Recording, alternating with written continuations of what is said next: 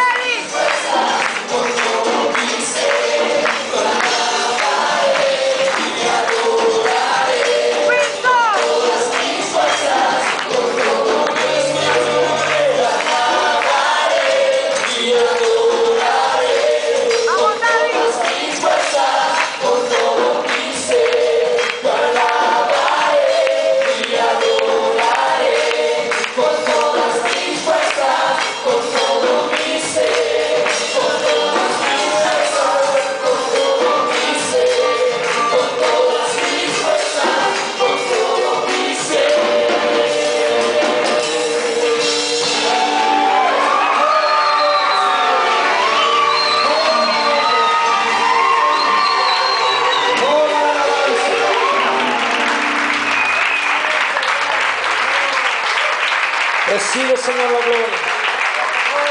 Alabaremos y exaltaremos tu nombre, Señor. Gracias por la compañía, Señor, y la armonía que podemos tener todos juntos al alabarte.